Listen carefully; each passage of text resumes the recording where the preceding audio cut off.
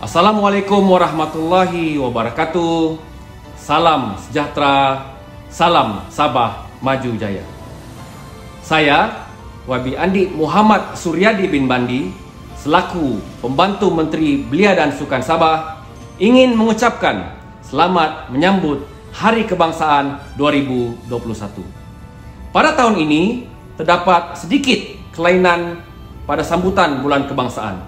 Namun, Hari Kebangsaan inilah menjadi kebiasaan baru yang kita amalkan dalam menjalankan setiap aktiviti di peringkat negeri.